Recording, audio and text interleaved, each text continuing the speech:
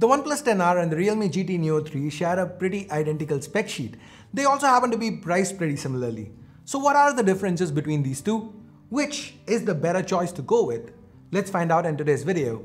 Hey guys, Ash here from C4E Tech and if you do end up liking what you see, thumbs up, subscribe and turn on notifications by hitting that bell icon. Let's get started. First, let's start with the built-in design. The OnePlus 10R, it's been receiving a lot of flack for its build. Now what do you think? Is it that bad? Do you think this is bad enough to be a deal breaker? I mean, what do you think? Let me know in the comments below. Me personally, I feel the reception has been a little too harsh. Uh, the 10R, I don't think it's as bad as people are making it out to be. Especially this green variant, we have a matte plastic back with these stripes to one side which makes it instantly recognizable and in a way also looks nice. I'm generally not a fan of boxy finishes, but OnePlus has done well in making the 10R feel nice in hand. At about 185 grams of weight, it feels easy to wield. Now while I do feel that all hate OnePlus has been receiving is a little overblown, it doesn't mean there isn't any truth to it. The 9R, for example, had a glass back with a metal frame, which both have been omitted here. The alert slider, the last remnant from the OnePlus we've all come to know and love, that's also missing here. The fact that the newer, less expensive Nord 2T has a glass back and an alert slider makes these omissions quite questionable. And for these reasons, I'd say Realme does have a better built-in design. For a phone priced in this segment, a glass back is expected and Realme provides you just that. The racing stripe to the back also makes the GT Neo 3 even more instantly recognizable.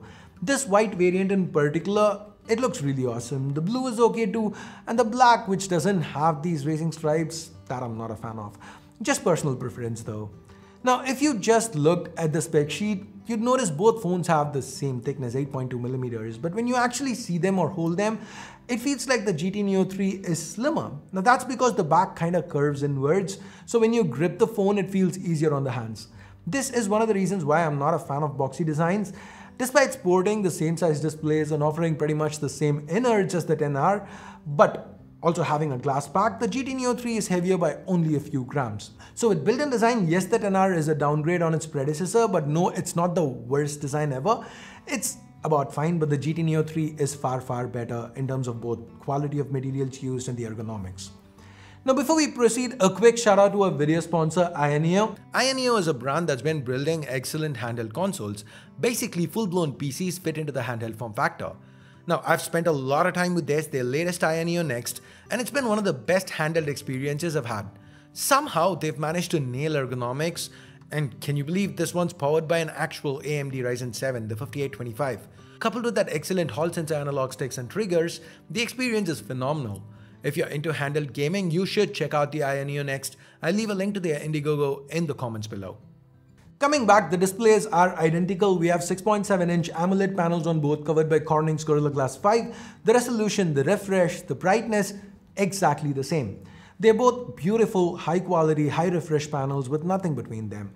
Even the cons are identical. For example, while both phones support HDR content, neither can do HDR on Netflix. With audio, both phones offer stereo setups that are equally loud. The GT Neo 3 is a little richer with the sound though.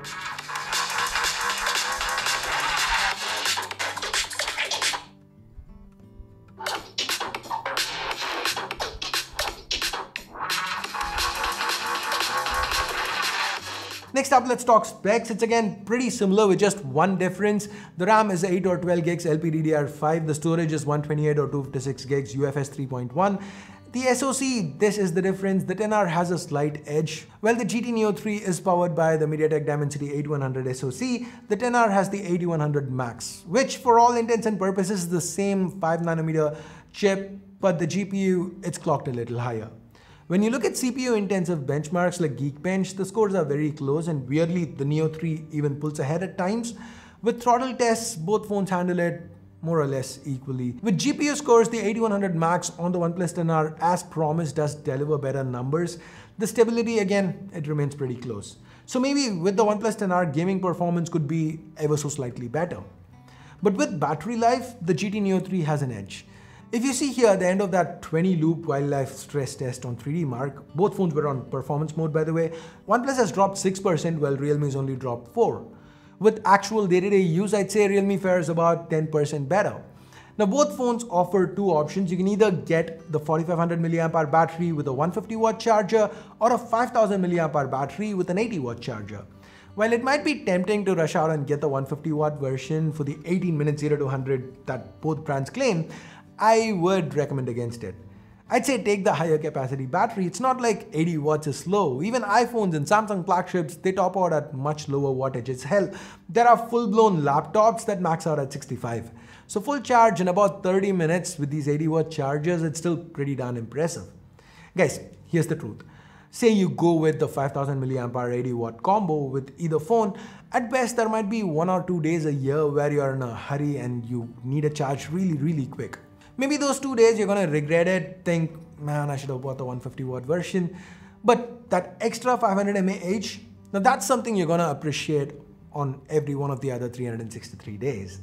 Anyways, moving on with software, this is the first round where OnePlus scores a comprehensive win. Both phones run on Android 12 with their custom interfaces on top, Oxygen OS on the OnePlus, Realme UI on the GT Neo 3. Since both Oxygen OS and Realme UI share a code base with ColorOS, a lot of functionality is very similar. Of course, Oxygen OS does have some of its own features like shelf and Zen mode. The actual reason why OnePlus gets a win here is not that. Rather, the fact that OnePlus promises uh, three major Android updates plus four years of security patches for the 10R compared to two years of Android updates and three years of security patches on the Neo 3. Uh, also, the fact that OnePlus comes with far few preloaded apps and ads, that helps. Anyways, with that said and done, let's move on to cameras and no surprises, both of them have again exact same identical hardware. The primary is a 50 megapixel Sony IMX766. It's paired with an optically stabilized f1.88 lens.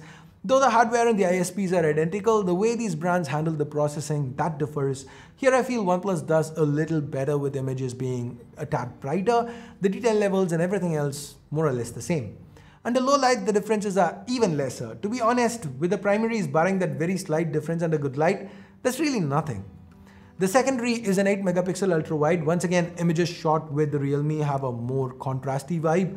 OnePlus is a tad better.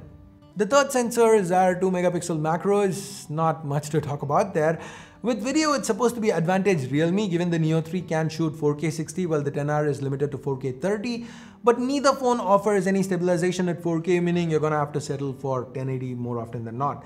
And at 1080, the performance is, no surprises, about the same.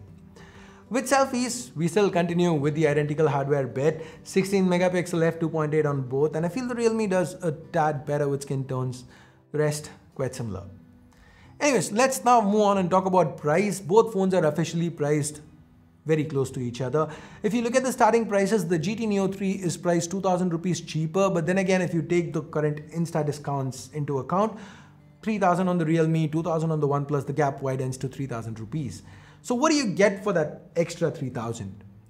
Well, you do get slightly better images with cameras, you get fewer preloaded apps, less ad intrusions, and most importantly, an extra year of software updates and security patches.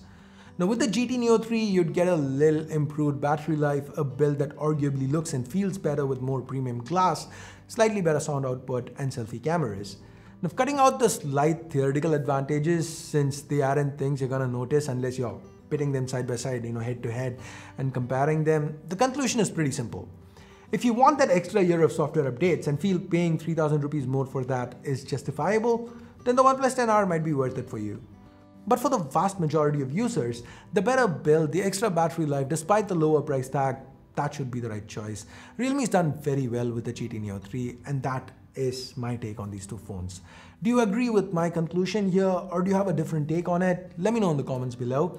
And also, while you're down there, thumbs up, thumbs down based on whatever you felt about this video. Subscribe, turn on notifications, hit that bell icon if you haven't yet. And thanks a lot for your time. Thanks a lot for watching. Until next time, my name's Ash. You've been watching C4E Tech, and I'm signing off for now. You guys have a great day. Bye-bye.